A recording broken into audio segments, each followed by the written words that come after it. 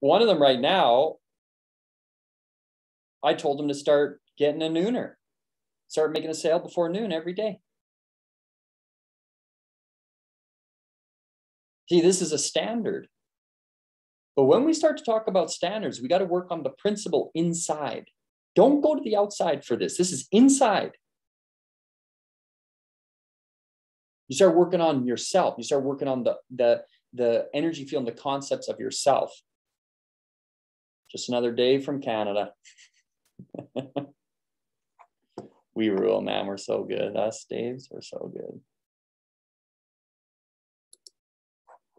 Where do your standards come from? They, they come from your own mind. That's where they come from.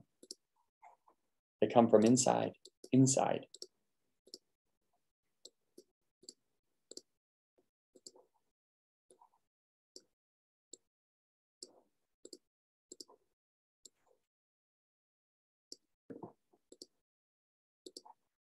This is your source of standard. Where did your standards come from? Standards very similar to the paradigm. Where did your standards come from? They come from conception and your environment. You didn't you didn't make your own standards.